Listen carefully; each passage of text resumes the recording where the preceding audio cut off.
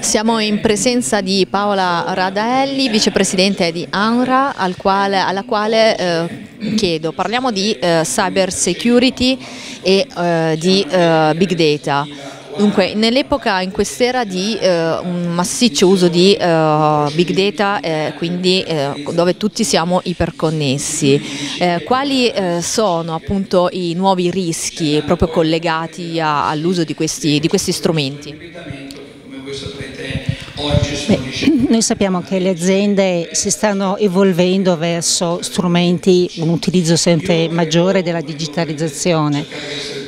L'intelligenza artificiale eh, ci porterà verso una necessità o un utilizzo dei dati ancora più esteso, quindi i dati saranno fondamentali per le aziende.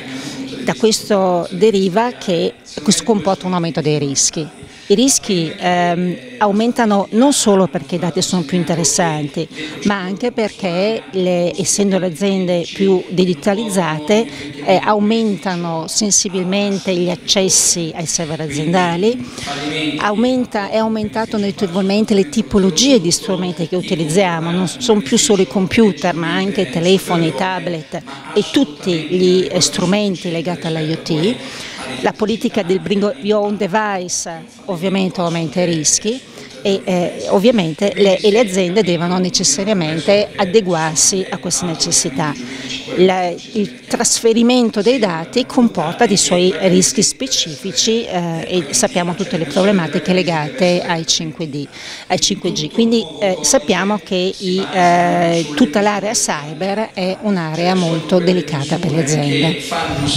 Quali eh, strumenti abbiamo oggi e in che modo possiamo affrontare e gestire al meglio proprio questi, questi rischi? Allora, ovviamente il rischio non può essere eliminato, però può essere gestito.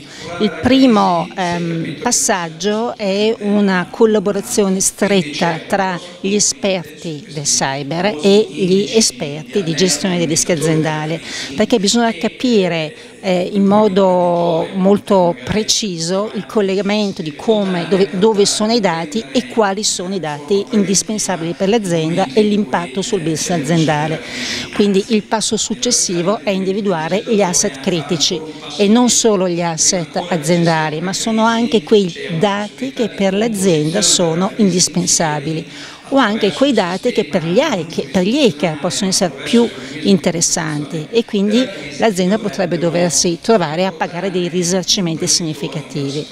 Quindi il primo passaggio è questa collaborazione e poi tutti i soliti strumenti, quindi ridurre gli accessi necessari, eh, firewall, penetration test, vulnerability assessment e l'ultimo elemento che sembra magari scontato ma è importante quanto gli altri, la formazione, l'informazione e la consapevolezza del personale perché non c'è nulla rispetto ad attacchi tipo attacchi di phishing se non la consapevolezza delle persone e che sappiano come reagire al rischio. La ringrazio per il suo intervento. Grazie a voi.